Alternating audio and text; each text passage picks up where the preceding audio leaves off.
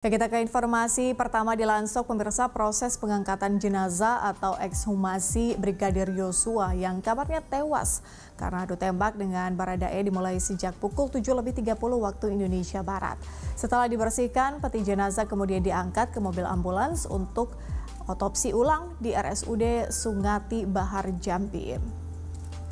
Ya, isak tangis keluarga tak terbendung kala tim forensik mengangkat jenazah Brigadir Yosua dari liang lahat. Bahkan terdengar ada pihak keluarga yang meminta pertolongan Presiden Joko Widodo. Tak hanya sekali, permintaan tolong kepada Presiden Jokowi diucapkan keluarga secara berulang.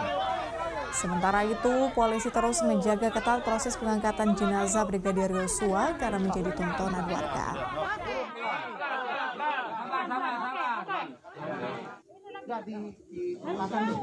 Kasih baut lagi lah, nanti di sana.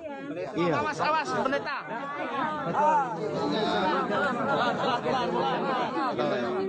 Ya. Dia ngangkat langsung ikut ya.